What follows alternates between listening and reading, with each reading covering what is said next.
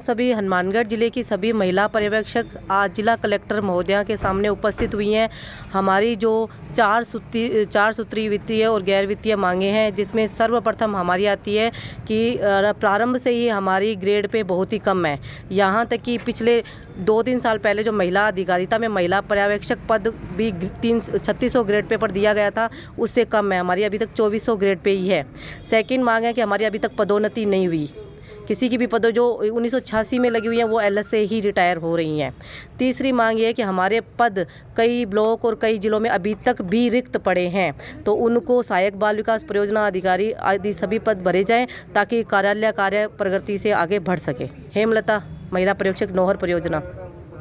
Anganwadi supervisor के द्वारा एक ज्ञापन सरकार को भिजवाया जा रहा है, जिसके अंदर ये कहा गया है कि सुपरवाइजर के पदों को लेकर संख्या को बढ़ाया जाए। वहीं दूसरी ओर सुख सुविधाएँ जो सेंटरों पर होनी चाहिए, वह दी जाए।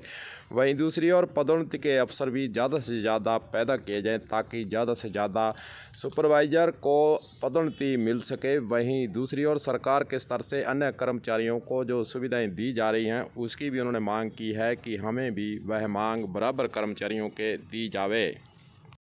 आज हम सारी हनुमानगढ़ से सुपरवाइज़र्स जो हैं आईसीडीएस विभाग से यहाँ कलेक्टर महोदया को ज्ञापन देने आए हैं। हमारी ये मांग है कि हमारे ऊपर जैसे कार्य का जो है कार्य का जो भार है वो अत्यधिक है और हमारे पास जो है 10 से लेकर 12 पंचायतों का जो है कार्यभार रहता है। तो इसके चलते जो हमारा जो ग्रेड पे है वो बहुत ही कम है। तो सरकार से हमारी ये नम्र निवेदन है कि हमारा ग्रेड पे बढ़ाया जाए। हमें भी वेतन विसंगति में जो हमें जो अन्य का ग्रेड पे है, उसके बराबर हमारे कार्यभार को देखते हुए, हमारी योग्यता को देखते हुए लेके जाया जाए। और इसी के साथ हमारे विभाग में जैसे पदोन्नति के जो भी अवसर हैं, वो सारे एकदम से रुके हुए हैं कहीं ना कहीं। और हमें, हमारे विभाग में बड़ी बड़ी पोस्टें भी खाली पड़ी है और सीनियर सुपरवाइजर्स अपने सुपरवाइज़र के पास से ही रिटायर हो रही है। तो सरकार से हमारा निवेदन है कि हमें पदोन्नति भी दी जाए और हमारे जैसे कार्य भार को देखते हुए हमारे कार्यालयों में जो है सुपरवाइजर्स के पदों को भी बढ़ाया